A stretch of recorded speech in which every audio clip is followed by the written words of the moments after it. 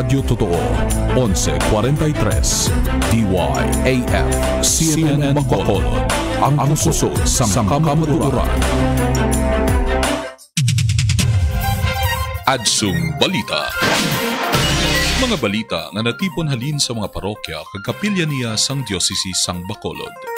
Kag mga pangulong dinalan sang lokal, nasyonal, kag pangkalibutanon nga mga hitabo.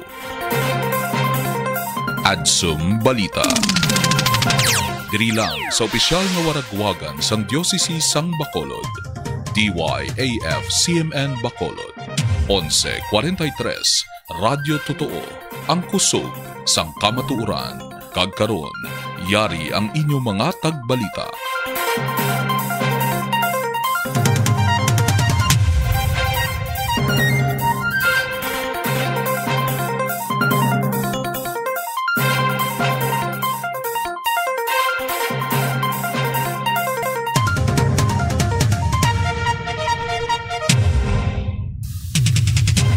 Mga kagadisis ng Bacolod, mga nga sa tanan nato nga tagpalamati.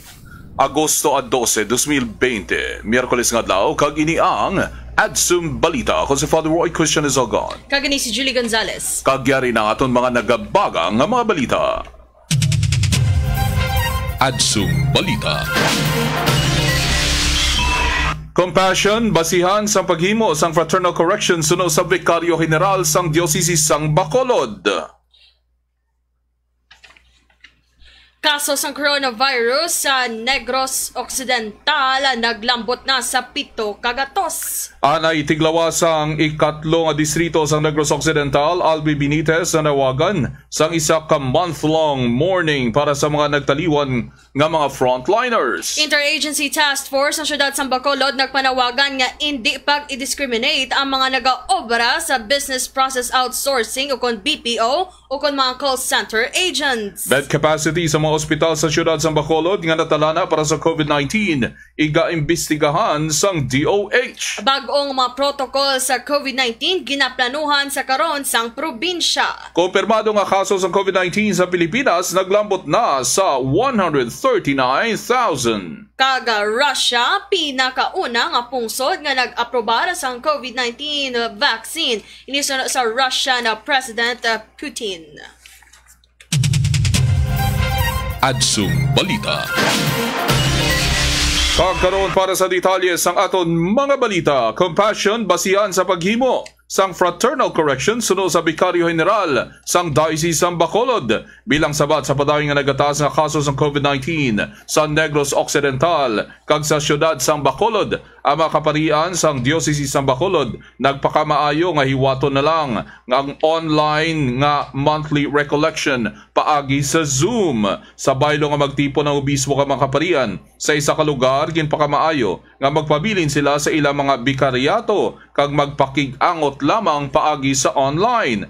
Ang resource speaker para sa sininga bulanan nga recollection amo si Reverend Father Jordan Orbe, SJ, Director sang Imeo Center of Spirituality sa Ateneo de Manila University. Si Father Orbe ang nagpahayag na nungod sa tema nga Finding Sanctuary in Groundlessness, Mindfulness and Well-Being During the Pandemic.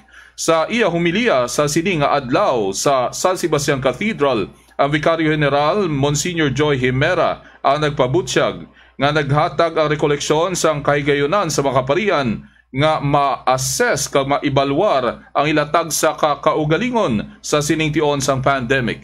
Ginhatagan sang italapangod sa recollection ang groundlessness sa diin gintanaw sang kada isa kapari kung sa diin nga sila nagatindog sa diin man dapat mahibalan sang isa ka isa ang mga imperfections kag nagatinguha nga mangin mas maayo kag agud nga makit-an Manila ang kangtanan sang ila pagpanglakaton kag mga inagyan sa iban.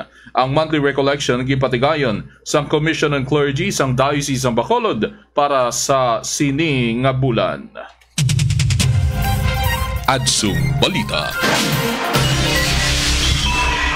Kag sa iban nga balita kaso sa coronavirus sa probinsya sang Negros Occidental naglambot na sa pito kagatos. Sandig sa report sa Department of Health sa Region 6, 23 kakasong nagdugang sa probinsya sang Negros Occidental. Samtang naglambot naman sa pito kagatos sa mga kumpirmado nga kaso. Nagapangunang probinsya sa may pinakamadamo nga kaso sang coronavirus sa Western Visayas. Ikaduha naman sa may pinakamadamo nga kumpirmado nga kaso ang probinsya sang Iloilo nga may 529 ka kaso. Pangatlo ang syudad sang Iloilo sa 487 ka kaso sang infection. Samtang pang-apat naman ang syudad sang Bacolod nga mayara na sang 396 ka kumpirmado nga kaso. Adsum Balita. Ang oras natin sa Dice Bacolod, alas 8 at 10 na. Ini nga oras ginadala sa inyo sang Bear Brand Powdered Milk Drink. Ang Bear Brand Swak. 10 pesos na lang. Anay tiglawa sa ikatlong distrito sa Negros Occidental, Albi Benitez, na nawagan sa isa ka month-long mourning para sa mga nagtaliwan ng mga frontliners. Inang balita sa pagbalik sa inyong programa sa aga, Adsum Balita. Adsum Balita.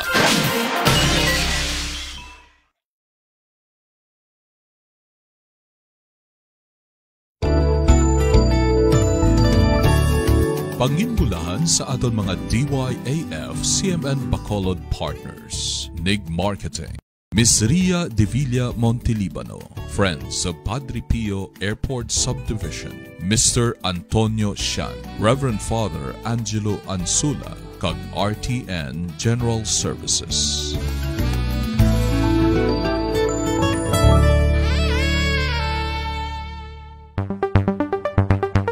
Sa pagtuman sang DYAF CMN Bacolod 1143 kHz sang iya misyon sa pagtulong sang serbisyo nga masaligan aton ginapasalamatan ang mga masunod Gardenia Centre Mrs. Maria Luisa Tan Monsignor Joy Himera Hitchanova family, Reverend Father Edwin Cadena, Right Side Services, kag Triple G.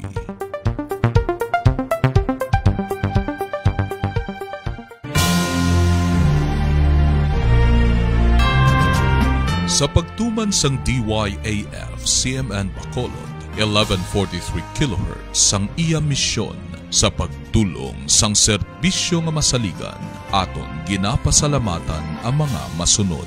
Golden Food Park, Silay City, Mayor Neil Lezares, Thelma and Anna Marie Palermo and family, Bacolod City Water District, Maricon Tumbos, Attorney Hermilo Pauyon, Teresita Uy, and Reverend Father Roel Hundos.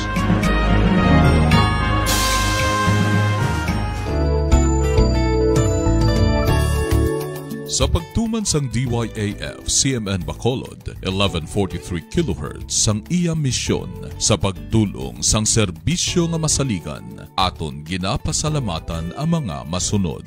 Dalom Acacia Chicken Inasal owned and managed by Mr. Norman Gracia Jr. Agiles Nonong Tan Susan Ingada and Children Rolling Hills Memorial Chapels Incorporated St. Jude Tadeos Parish, COG, Mr. Nelson and Mrs. Susan Iscamilla and family.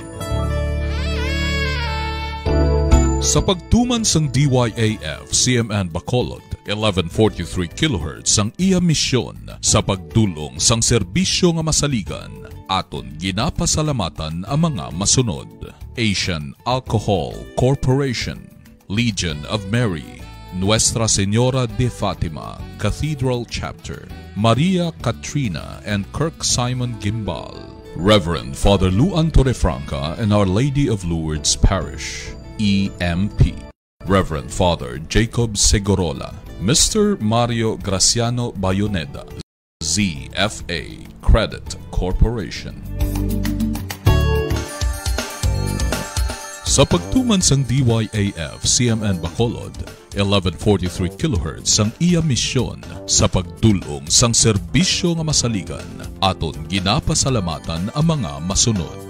Danilo Bugador and Family Mr. and Mrs. Rene Antones, Antones Lines, Little Children of the Divine Will, Our Lady of Peace and Good Voyage, Antipolo Pontevedra, Marivic Montilla, Miss Genevieve Gonzalez, Wilma Gonzalez, Mrs. Josephine Nagagor, Mrs. Bernadette Kalimpong, Architect Paul Celo and family, Mrs. Elizabeth Tulbo, Miss Anna Villarias, Kag, Mr. and Mrs. Benjamin and Veronica Macasa.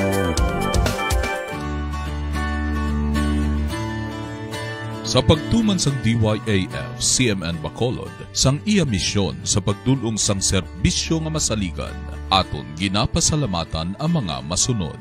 Mrs. Heidi Alunan and family, Mr. Jaime Deriada, Mr. Roque Bonilla, Reverend Dave Ryan Treyes, Red Mahogany Lumber, Barangay Singkang Airport, Maria Rosario Sola, Myrna Dizabelie, Evelyn Totenko, Little Children of the Divine Will, Sumag Senacol Group, Little Children of the Divine Will, Redemptorist Cynical Group.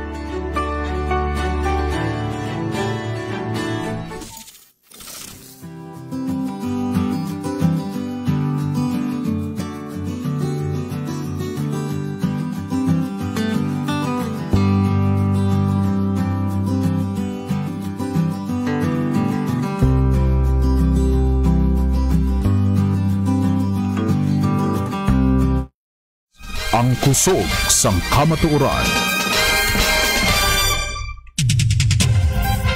Adsum Balita.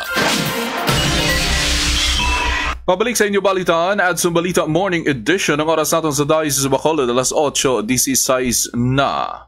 Anay tiglawa sa ikatlong distrito sang Negros Occidental, Albi Benitez na nawagan sa isa ka month-long mourning para sa mga nagtaliwan nga mga frontliners na nawagan sa kay Presidente Rodrigo Duterte. Anay tiglawa sa ikatlong distrito kag sa karon Provincial Economic Advisor Abelardo Albi Benitez sa pagdeklarar sang isa ka pungsudnon nga tion sa pagkalisod o national period of mourning sumugod sa madason nga simana para sa mga frontliners, ilabi na gid sa mga healthcare workers nga nagtaliwan bangod sa pagpakigbato batok sa COVID-19.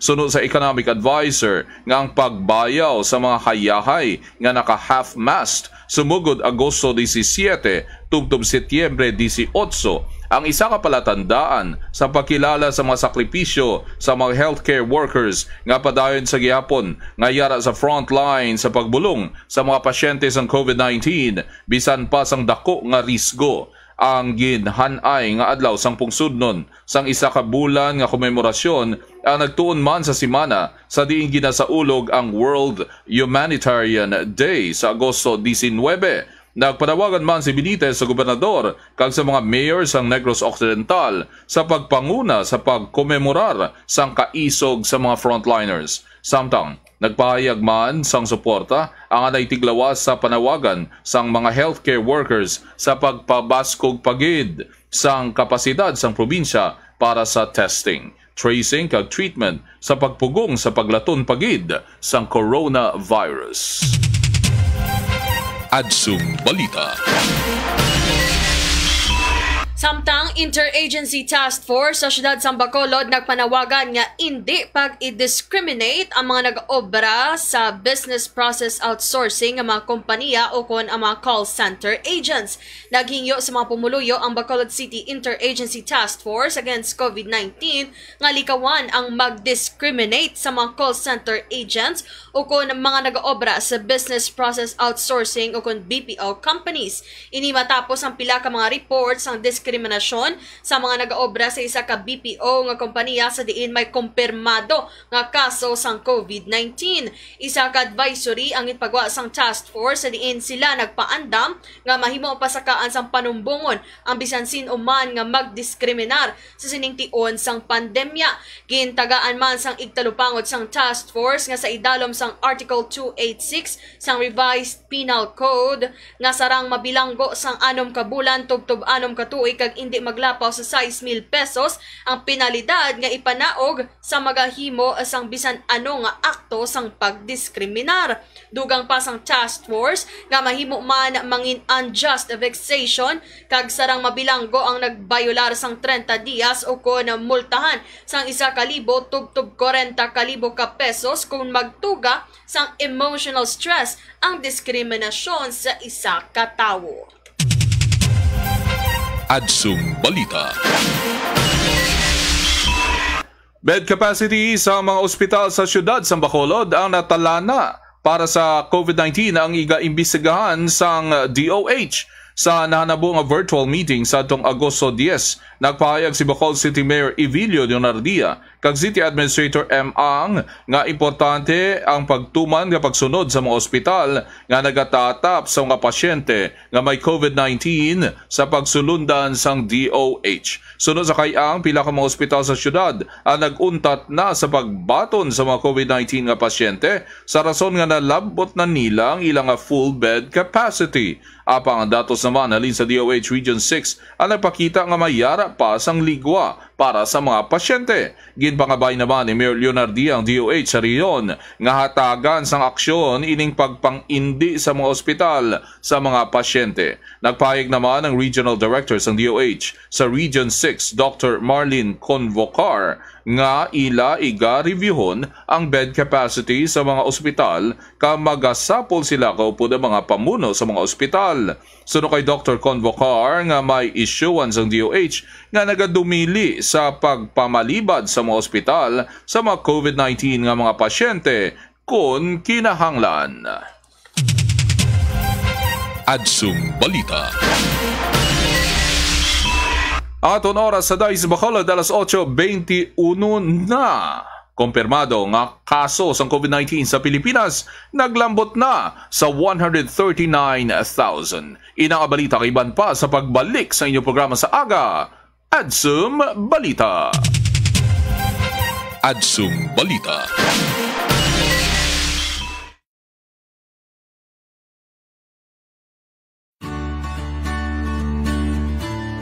Sa pagtuman sang DYAF CMN Bacolod, 1143 kHz ang iya misyon sa pagdulong sang serbisyo nga masaligan aton ginapasalamatan ang mga masunod.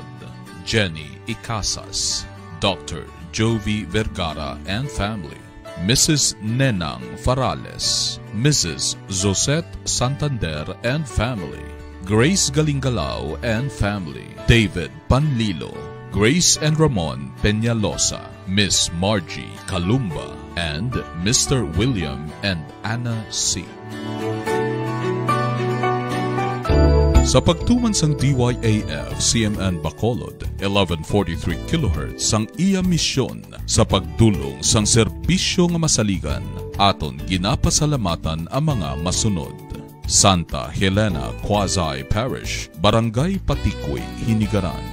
Reverend Father Brethren Rai Gamala, Miss Euphemia A. Cabarles and family, Reverend Father Samuel John Tanyoso, Mr. Michael and Mrs. Jovi Amodente Sergeant and family, and Bishop Emeritus Vicente M. Navarra, Doctor of Divinity.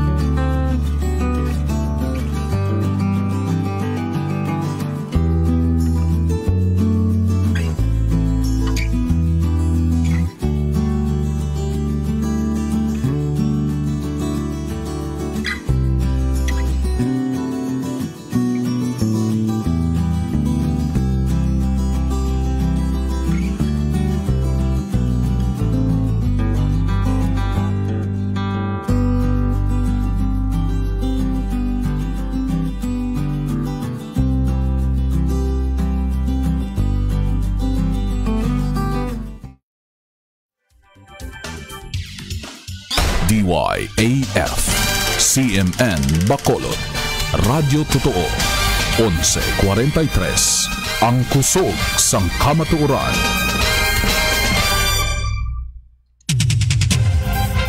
Adsum Balita. Pabalik sa atong balitaan, Adsum Balita Morning Edition, oras sa kahanginan alas 8.25 na. Kagpadayon kita sa aton nga mga balita. Bag-o nga mga protocol sa COVID-19 ginaplanuhan sa karon sang probinsya.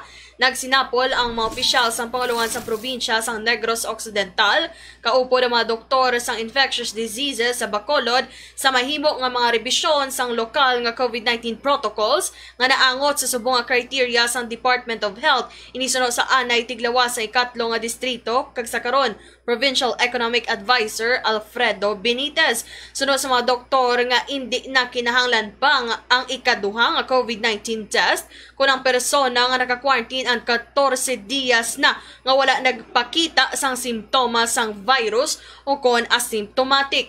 Suno kay Benitez nga nagpahayag man ang mga doktor nga kung ang isa ka COVID-19 positive nga pasyente ang asymptomatic sa sulod sa 14 dias nga naka-quarantine, mahimo na siya nga i-release nga hindi na kinahanglan pa nga maghikot sang ikaduha nga COVID-19 test. Suno sa kay Benitez nga ini ang rekomendasyon sa mga doktor kag igahan ay ini sa pagsinapol sa mga mayor sa probinsya kag kun maaprobahan ini igapatuman na sa gilayon.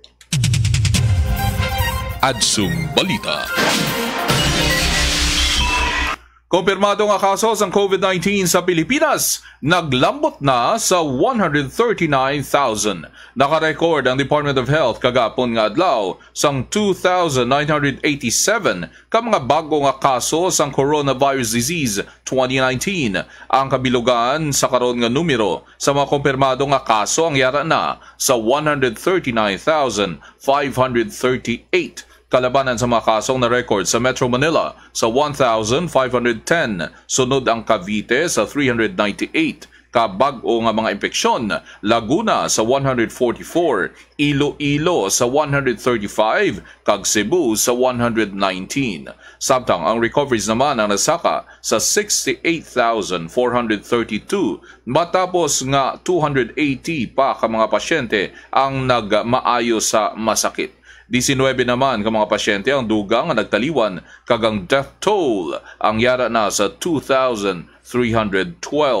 Mayara sang 68,794 kaaktibo nga kaso ang Pilipinas nga sa karon nagapaidalom sa treatment o kung naka-quarantine.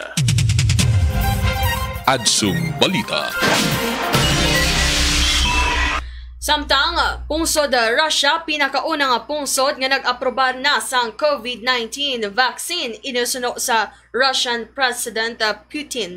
Nagpayag ang presidente sang Russia nga si Vladimir Putin nga ang pungsod Russia ang pinakauna nga pungsod sa kalibutan nga naghatag sang regulatory approval sang COVID-19 vaccine matapos ang di magnubo sa duha ka bulan nga human testing. Suno pa sa kay Putin nga ang vaccine ang gin-develop sa uh, Moscow Gamaleya Institute ang safe kag gin-administer mismo sa iyang uh, pamilya. Nagalaw naman ang presidente nga maka-mass production na para sa vaccine sa hindi madugay. Suno pa sa iyang ang approval sang Health Ministry ang magahatag sang alagyan para sa linibo ka mga trials o kung phase 3 sang clinical trials para sa bakuna. Una nagipayag ni Presidente Rodrigo Duterte nga handa siya nga mangin una nga Pilipino nga makabaton sang bakuna batok sa COVID-19 nga gin-develop sang Russia. Sunod pa sa kay Duterte nga ang COVID-19 vaccine nga gin-develop sang Russia ang mahimo na nga i-distribute sa bulan sang Setyembre kag Oktubre. Adsum Balita. Kagabi ato mga balita nga natipon sa bilog puwersa sang DYAF CMN Bacolod 1143 kHz sa inyong mga radyo para sa siningadlaw Agosto a 12, 2020, Miyerkules. Inialagad Father Roy Christian Izogon. Kag bantayan pa iban mga detalye kag iban pa nga mga balita karon sa Adsum Balita Afternoon Edition ini si Julie Gonzalez. Serbisyo nga masaligan, Dios ang aton dalangpan. Ini ang Adsum Balita. Adsum Balita.